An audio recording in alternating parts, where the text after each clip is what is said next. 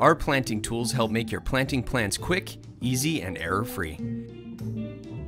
Easily search for and specify plants from our wiki-based plant list. After adding a plant, quickly add data such as name, code, notes, cost, and size. Assign a 2D symbol from our library, or add your own. While you're at it, you can pick color and 3D symbols, or save them for later. Placing plants is a snap with our shotgun keyboard commands. Toggle between plants in your own list, plant numbers and patterns, rotations, and spacing configurations. Build up your plan quickly by painting with trees or shrubs. Snap your plants into the angle of your choice.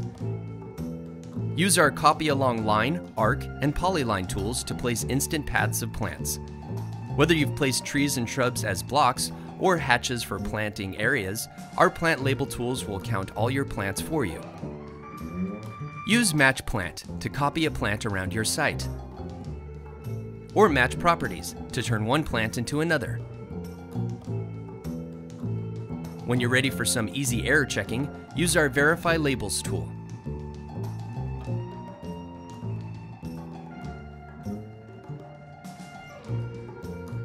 Because your plant labels are smart, they'll update to show you your changes, such as a plant you've replaced or deleted.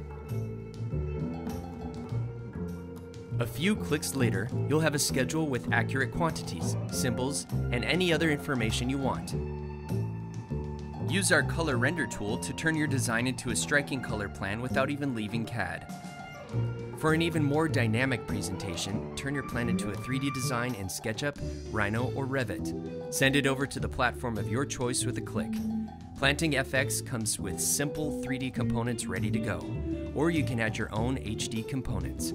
With Planting F/X, you'll have time to focus on designing. We'll do the rest of the work for you.